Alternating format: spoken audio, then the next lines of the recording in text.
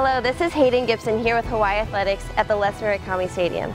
We are here today to spotlight the new multimedia project that is sure to enhance every fan's experience. Over the right field wall stands a new state-of-the-art Daktronics video board that has a video screen which can feature standalone images and a multimedia video as well as a standalone scoreboard.